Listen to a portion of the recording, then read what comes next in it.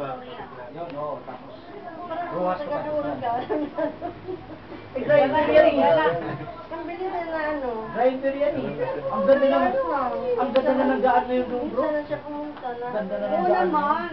Talapan. From, from Talapan. Yun nga lang yung... Huwag lang ikaw ang hindi magmamaneho kasi pag ikaw ang hindi nagmamaneho, hindi mo matatandaan ang daan.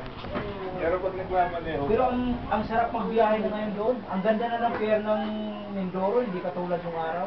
Kaya lang, nandun pa rin yung pier ito. Bundok na yan dyan.